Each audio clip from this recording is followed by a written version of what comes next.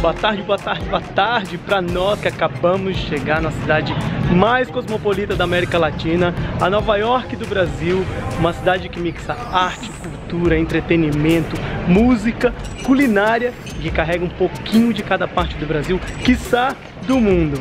Já sabe onde a gente chegou?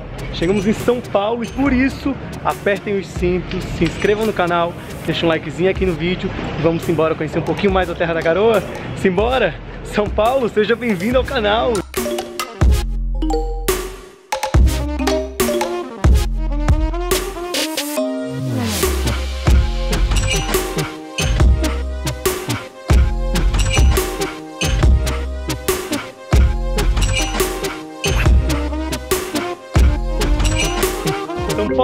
Lugar que recebe tudo de primeira, sempre de primeiro, todas as exposições, todas as pré-estreias importantes acontecem nessa cidade. E hoje eu vou visitar uma delas. Essa exposição temporária comemora os 80 anos do Homem Morcego. Vamos embora? Vamos conhecer um pouquinho mais do Batman de Gotham City? Simbora!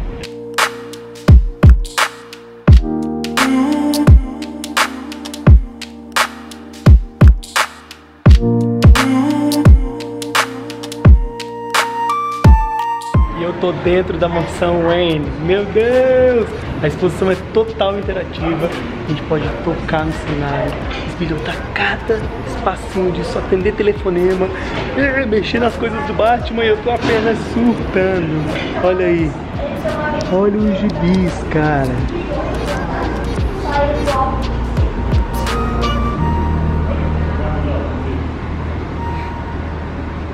Olha que lindo. Década de 80. Professor, mentor, parceiro, mas nunca um pai.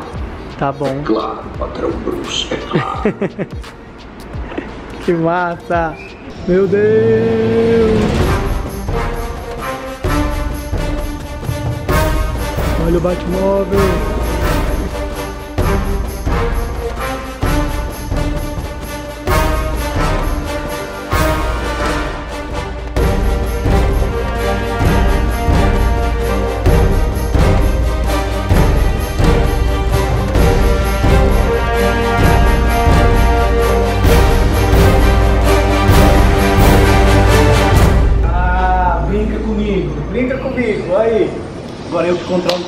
Já era, acabou.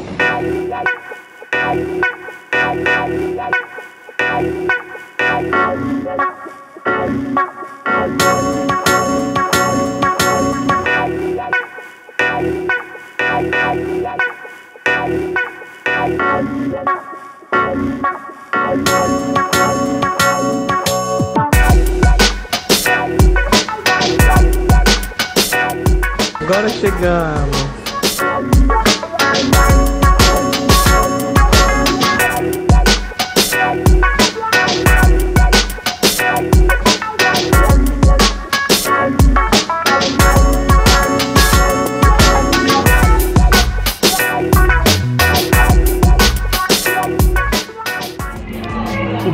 Batman é referência para o grafite paulistano há mais de 30 anos. Reza a lenda que nos anos 80, uma dessas paredes apareceu do dia pra noite com um desenho do Batman. E daí surgiu o nome. Desde então, as paredes do beco viraram telas para os artistas urbanos pintarem e exporem suas artes. E são demais, eu tô apaixonado. Várias cores, várias mensagens, várias coisas iradas, além da feirinha que tá rolando esse final de semana. Aí, todo final de semana rola feirinha de tudo que vocês possam imaginar. Eu tô aqui pirando. Eita, Beco do Batman, arte paulistana. E aí você acha uma feira de prato, já vou deixar tudo aqui aí, ó. Vou deixar todo meu dinheiro aqui, cara, dinheiro que eu nem tenho. Fala aí, tá caro? Não, tá barato. Tá barato? Olha lá, vocês estão todo final de semana aqui ou só hoje? Todo final de semana. Todo final de semana então tem Feira da Prata aqui. Eita, aí. Quanta coisa. Olha, esse tal de beco do Batman é uma perdição, tá? Já comprei aqui. Aí, ó. Um Ares e uma baleinha que tá guardada. E agora eu vou tomar sorvete. Sorvete de quê, cara? Que vamos tomar aí? Açaí, De açaí. Do que que você tem? chocolate, bloco, cheesecake, manga, morango. Eita, é muita coisa, é muita coisa. Eu não vou sair daqui nunca, eu já vi já. Vou ficar perdido por aqui.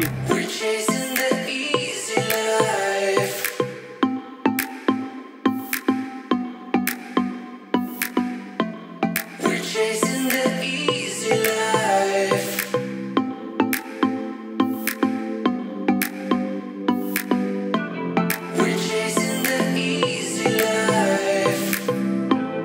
Até os doguinhos tem espaço aqui, olha esse. Van Dog. Pida Juan.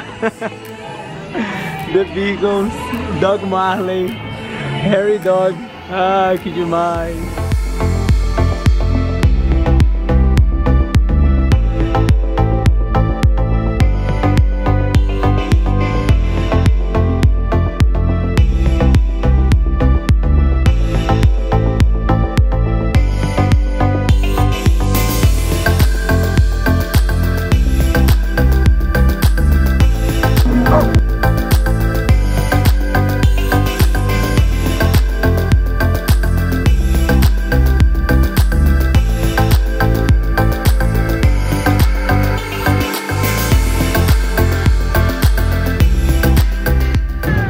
Na Paulista encontrei essa lindeza que é a Letícia. Letícia, explica pra gente o que, que você faz e como a gente pode te ajudar. Eu me chamo Letícia, como ele falou.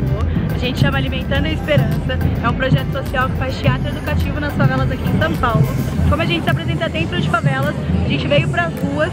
O dinheiro que a gente consegue arrecadar fazendo essa palhaçada, a gente dá uma cesta básica. Essa... para ajudar famílias carentes. É o arroz, feijão, açúcar, café, que é mais que o necessário. A gente está sempre na comunidade para dar uma forcinha. O projeto chama Alimentando a Esperança. Tem no Instagram e no Facebook. Se vocês puderem nos ajudar, dá um like, chama a gente, vamos fazer uma família feliz. A gente pode fazer doação pelo Facebook, Instagram? É Pode. A gente não aceita doação em dinheiro pela página. A gente só aceita doação da cesta básica e alimentos. Ah, legal, Roupas, legal. calçados, a gente aceita tudo. Vamos Só fazer o em bem. contato. Vamos tá fazer bom, o bem. gente? Prazer, Obrigadão, obrigado, lindeza. E ela quer uma vaga na novela. Alô, produtores de elenco. Ó, leva essa, leva esse tesouro. Vocês não vão se arrepender. Maravilhoso. Obrigado, viu?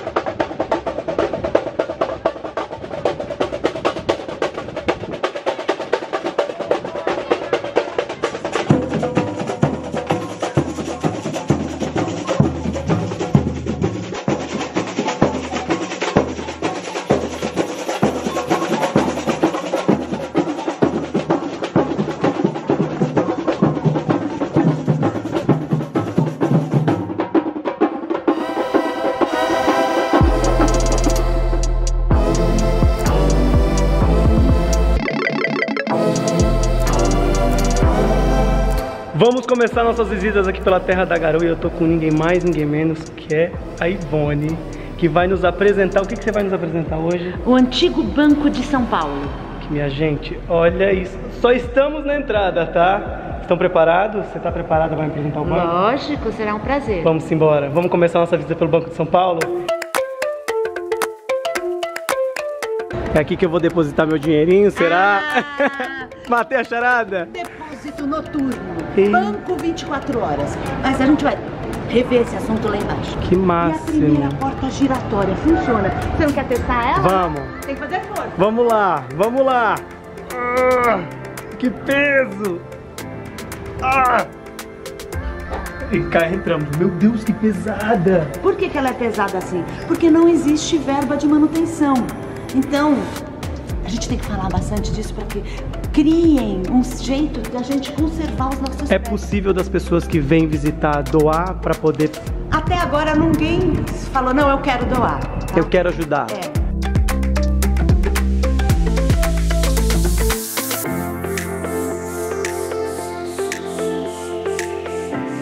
Muitas lendas envolvem o Banco de São Paulo, inclusive que existem fantasmas por aqui.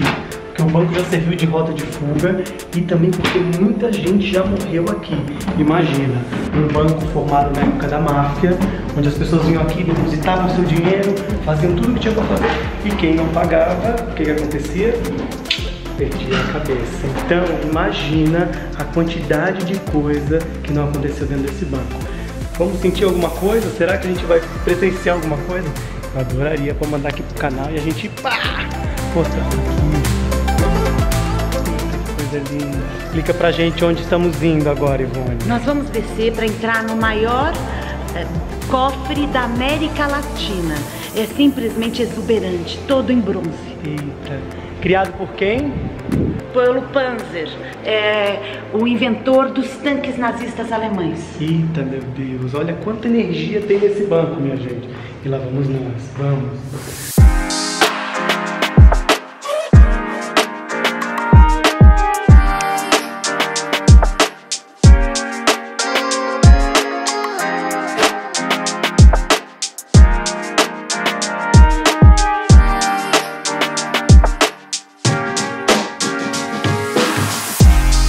Aqui o nosso dinheiro, minha gente, que coisa mais linda. Quantos anos tem essas cédulas? Uns 50 mil cruzeiros. que massa! 10 mil cruzeiros. 5 mil cruzeiros. Esse é o mais parecido, né? Com o que é hoje.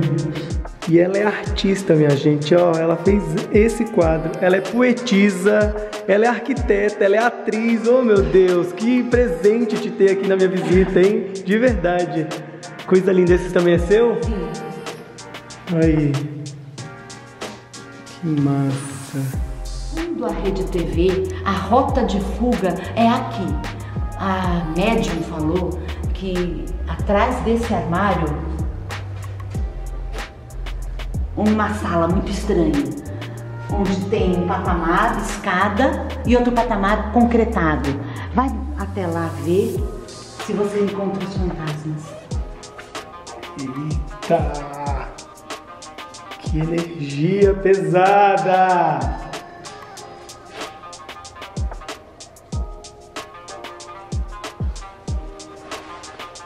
O que aconteceu aqui nessa rota de fuga? Com Jovens estudantes fugiram dos militares, passaram fugido por aqui. Os militares entraram, lacraram as portas, concretaram tudo. E os jovens não se sabe onde estão. Se estão lá ou se fugiram por outra porta. Eita! E aqui é onde caíam os depósitos lá de cima que nós vimos. Dá pra abrir? Ah, não. Não. Será que tem depósito aqui, Ivone? Ah, não sei. Custa Sim. 3 mil reais pra abrir. Eita! Vamos pagar, minha gente? Vamos fazer uma vaquinha e pagar pra ver se tem dinheiro. São Paulo, funcionário no café, caminhando em uma só direção.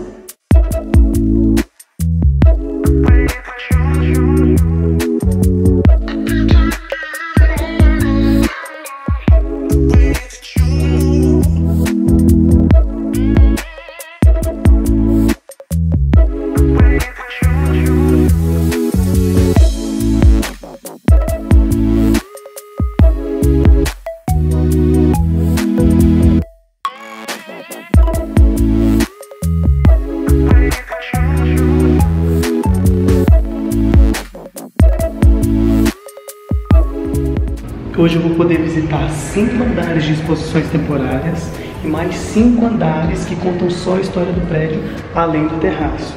É muita coisa. Ah, minha gente, arte. São Paulo trazendo tudo. Olha aqui que coisa linda.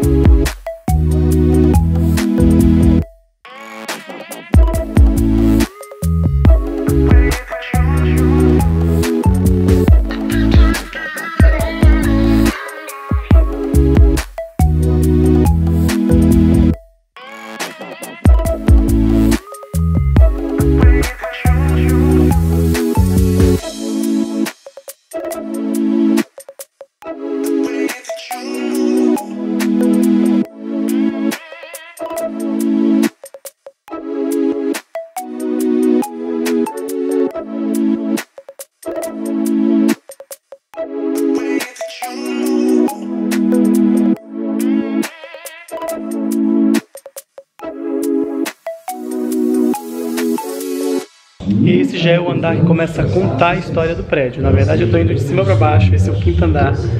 E vou descer para ver toda a história do prédio. Farol Santander. Olhando para a cidade. Ah, a sala do presidente.